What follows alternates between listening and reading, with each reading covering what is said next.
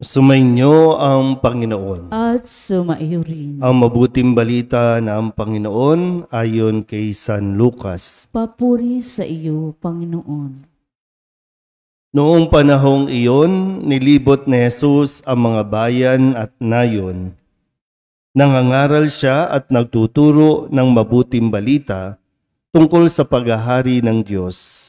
Kasama niya ang labindalawa at ilang babaeng pinagaling niya sa masasamang espiritu at mga karamdaman. Si Maria na tinatawag na Magdalena, mula sa kanya'y pitong demonyo ang pinalayas. Si Juan ang asawa ni Kusa, nakatiwala ni Herodes. Si Susana at marami pang iba. Ang ari-arian nila ang itinustos nila sa pangangailangan ni Jesus at ng kanyang mga alagad. Ang mabuting balita ng Panginoon. Pinupuri ka namin, Panginoong Heso Kristo. Magsiupo na po ang lahat. Isang mapagpalang maga po sa inyong lahat. Sa konteksto ng ating ebanghelyo sa umagang ito, nais ko lang po munang i-shout out no, lahat po ng mga naging uh, supporters o benefactors ng parokyang ito o yung mga lalotigit, mga sumusuporta at tumutulong sa mga pari kung saan mang sulok sila naroroon no, para may pagpatuloy ang gawain ng pagpapahayag ng mabuting balita.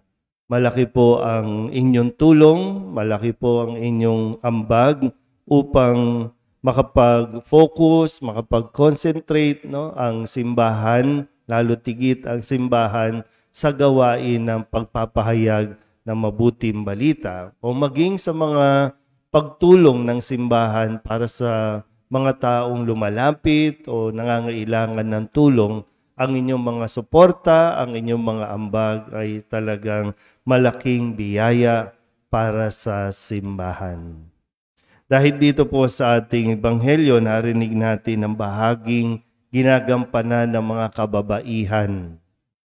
Sabi po dito, kasama ni Jesus habang nagpapahayag ng mabuting balita ang labindalawang apostol at ilang mga kababaihan. Ilang mga kababaihan, nandiyan na binanggit si Maria na tinatawag na Magdalena, sa kanya'y pinalaya o pinaalis ang pitong demonyo, andyan si Juan ang asawa ni Kusa, andyan din si Susana, at marami pang iba. So, may kanya-kanyang ginagampanan. Yung mga alagad, yung mga kalalakihan, ito yung katuwang at mga tinuturuan ni Jesus para pagdating ng araw, sila naman ang magpapahayag. Samantalang ang mga kababaihan naman, sila ang nag-aasikaso no, ng mga pangangailangan. Pwedeng iba dito ay no, kanya-kanyang toka, sila yung maglalaba, sila yung mag-aayos ng mga damit no, ng mga alagad, sila ang magluluto. Pero dito po sabi, sila ang nagbibigay ng pantustos sa pangangailangan ni Jesus at ng mga alagad. Pero magandang bahagi din dito bago natin makalimutan ang sabi po kasi dito no sila ang ari-arian nila ang itinutustos nila sa pangangailangan ni Jesus at ng kanyang mga alagad bilang bahagi ng kanilang paglilingkod. Maraming paraan ng paglilingkod. Isa ito sa sinasabi nga dito, no? At bakit nais nilang maglingkod kay Jesus? Maging kabahagi ng gawain ni Jesus. Dahil unang-una, sila ay pinagaling ni Jesus. Sila ang unang nakatanggap ng biyaya mula kay Jesus. At bilang pagtanaw no, at pasasalamat nila sa ganitong paraan ng pagbibigay, monetary, pagtutustos.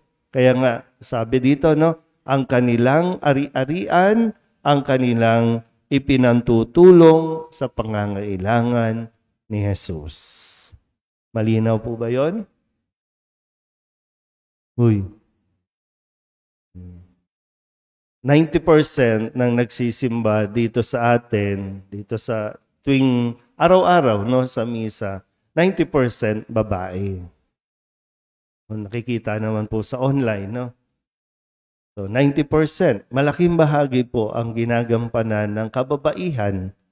So, hindi lang kayo basta na tinawag para magsimba lang, maupo lang, kundi ang tawag sa inyo ay pwedeng sa paraan ng paglilingkod, MBG, kolektora, lector, ano pa ba meron dito? Legion of Mary, tagadasal ng rosaryo pagkatapos ng misa, tagadasal ng nobinaryo, pero yung iba sa inyo ay tinawag, no? Yung sa mga online natin, dahil hindi kayo makapunta dito, wala kayong oras, meron din paraan ng pagtulong, ng paglilingkod.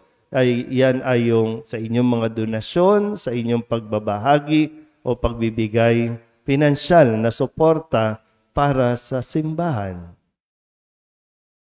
Hmm. So, nandito tayo, no? lalo na yung mga kababaihan, para maglingkod sa Panginoong Jesus. Sa anumang paraan. Uh, alam niyo na kung saan kayo, no? Kung saan, saan kayong paraan na naglilingkod. Pero ang paalala sa atin, tandaan po natin ha, ang paalala ni San Pablo sa kanyang sulat kay Timoteo ay tiyakin natin na hindi tayo masisira dahil lamang sa pera. Marami na pong kwento sa mga lingkod ng simbahan. Ang dati kasi pure intention na maglilingkod kasi gusto niyang magpasalamat sa Diyos, gusto niyang ialay na ang kanyang sarili sa Diyos, yung iba na mga nag-retire na, no, kaya nagsiserve na kasi retired na.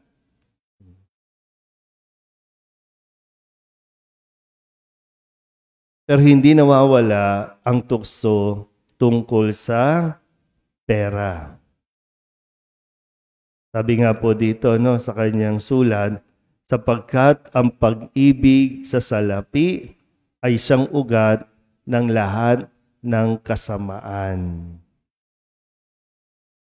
Yung mga pinag-aaway, mga bariya-bariya, mga pinag-aaway, mga koleksyon sa pondo ng mga ministries, organizations, pag pinagkatiwalaan ng pondo ng simbahan, gagastusin, kukupitin, babawasan. Kaya maraming nasisira ng mga naglilingkod sa simbahan.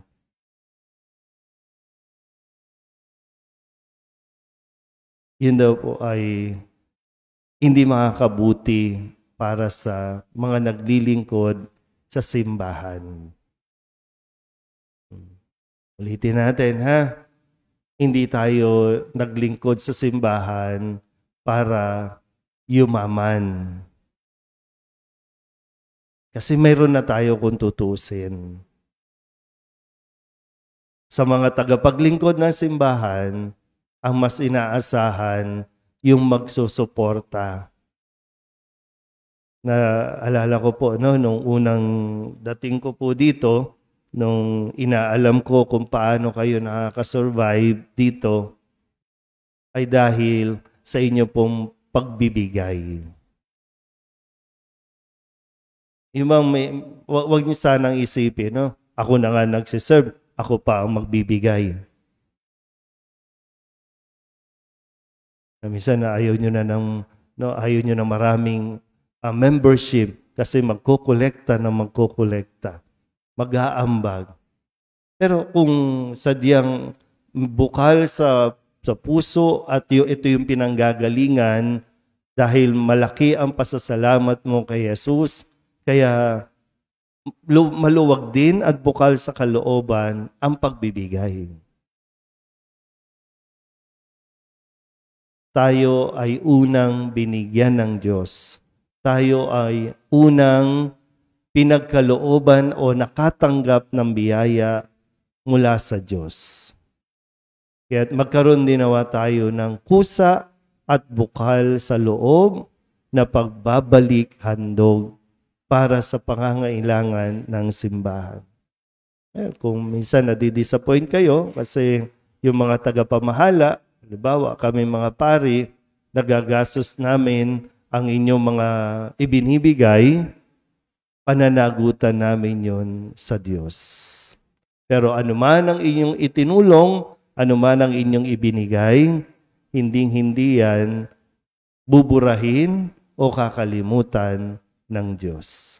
Mas ibayo pang pagpapala ang ibibigay ng Diyos sa mga taong nag, no, nakakapagbalik ng pasasalamat sa Diyos. Amen?